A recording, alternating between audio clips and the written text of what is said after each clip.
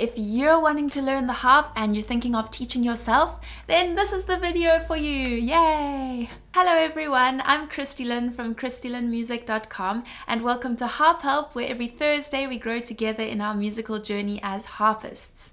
I know there are a lot of you out there who are already teaching yourself to learn to play the harp, or maybe you've always dreamed of playing the harp and it's kind of just been out of reach. So now you're busy saving up all the money you have to purchase your own harp and then you're planning on teaching yourself to play. But maybe you have some concerns about whether it's possible to teach yourself to play.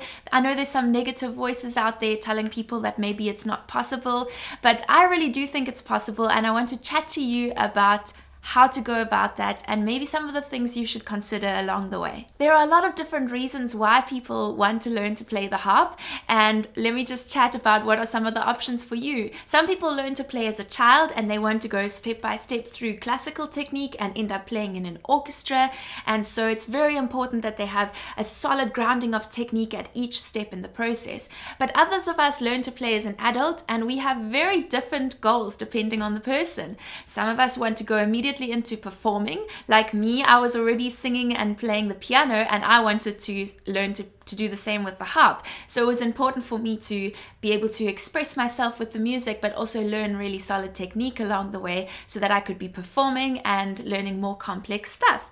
But I know some people are more aiming to serve others with their music in um, therapy kind of context, or some people are just wanting to play for their own enjoyment and don't even want to be playing the music for others at all. Some people are um, have a, a little bit more finances to set aside for harp lessons and really want to learn things um, step by step and have a program that gets them exactly where they want to be. But other people approach it really casually and don't really mind so much about doing things properly. They just want to explore the instrument. And I think all of these are valid ways to approach the harp and different ways of learning are going to work for different people. So if you're someone like me and you really like to have someone tell you what homework to do um, how to do it step by step, and I really love to have feedback to know that I'm doing things properly, then you might have the kind of personality that works really well with harp lessons. Um, for some people, it's more important to have a teacher than for others. But there are a lot more resources to teach yourself than there used to be. So, for example, when my teacher, if she wanted to improve her technique in a way that um, she maybe didn't have the resources directly around her, she wouldn't have been able to go onto YouTube and look at tutorials of other harpists, watch other harpists play on videos. She had to wait to be able to see people playing in person or maybe have a masterclass with a harpist when she visited another country. So things have really changed in the way that we have access to so much online.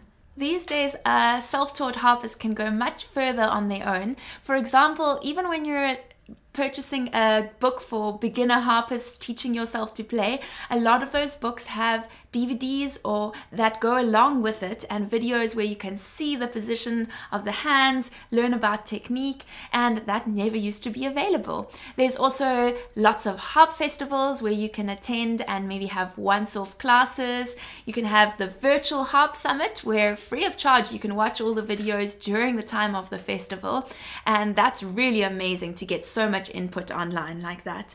And I think in that way we can teach ourselves technique and learn learn a lot more from the other side of the world than we used to be able to, where um, people would really just be able to learn from a book if they didn't have a teacher and kind of have to read in between the lines and experiment a lot.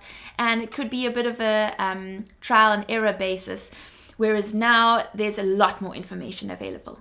Another thing is having a once off consultation with the teacher.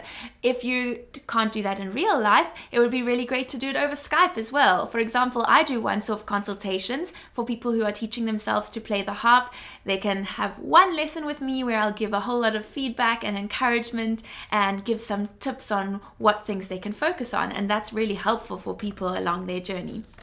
But I also just wanted to say that it really is important to look at your personality and your goals for learning to play the harp because teaching yourself is not for everybody. If you want to get the full package of support and encouragement, then the easiest way to do that is through weekly lessons. On your own, it's kind of hard, harder to progress in all these areas because you have to seek out all those uh, aspects. So you don't get it all delivered to you on a plate like a teacher would and give you all the support and encouragement in one little package. If you're teaching yourself, you need to figure out what you need and then go and look for it. And sometimes that can be a bit of a tricky process and it takes more effort to fill in those gaps.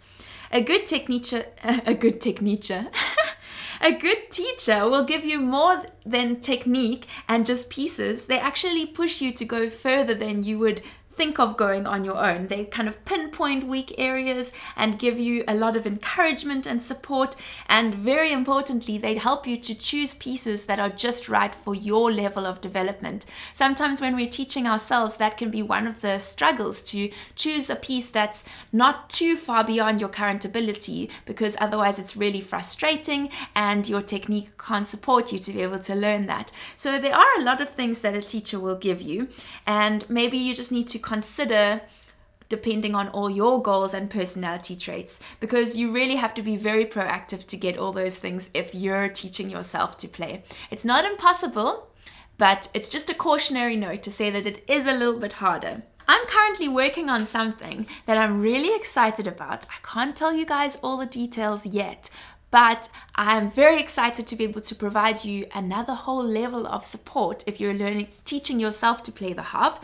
And it's going to be a great resource for for harpists who are just wanting a little bit more encouragement and support and um, kind of learning aids along the way. So please keep a watch out if you're teaching yourself to play and you'd like to have a little bit more support and I'd love to hear in the comments about the type of support that you would really appreciate. And maybe I'll be able to include this in the thing that I'm currently developing. Um, so put down in the comments what areas are you struggling in when you're teaching yourself to play? Maybe you're coming up with some roadblocks and it's it's really been a tough one and you're seeing your progress plateau a little bit. It's not too late things can change. So let us know what you're struggling with and the others of us, me and other harpists who are watching this video, can maybe give you some important encouragement and a, few tips if you would like. Let's support each other. If you have any suggestions for self-taught harpists or people who are currently learning to play, then also put that down in the comments so that they can learn from your experience and we can all help each other because we're in this together. It's not something that um, you need to feel isolated about.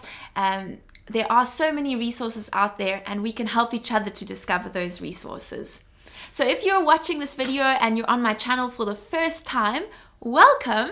I'm so happy to have you here. Uh, you've come to the right place. This is a place where harpists encourage each other and we share our love of harp music and that it's never too late to follow those dreams of playing the harp. And I put up videos every Thursday, either these harp help videos or videos of my own singing and playing. So I'd love to have you a part of that. You can subscribe if you'd like to be notified about my future videos. And I'll see you all again next week, Thursday. Bye.